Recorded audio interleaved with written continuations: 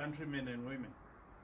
The Ministry of Home Affairs and Internal Security wishes to remind the public of the existence of Section 54 in the Cyber Security and Cyber Crimes Act number 2 of 2021, which states as follows.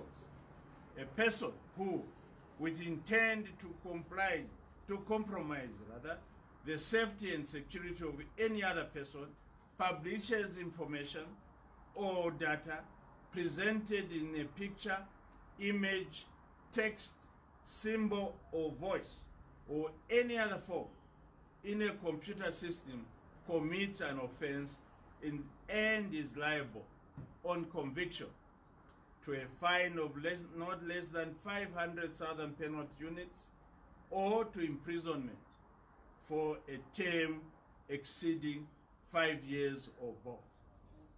To that effect, the public is urged to adhere to the law and avoid social media posts that may make them come in conflict with the law. WhatsApp group administrators are reminded to curtail postings that are illegal and in bad faith as they will be held responsible for any publication of such information.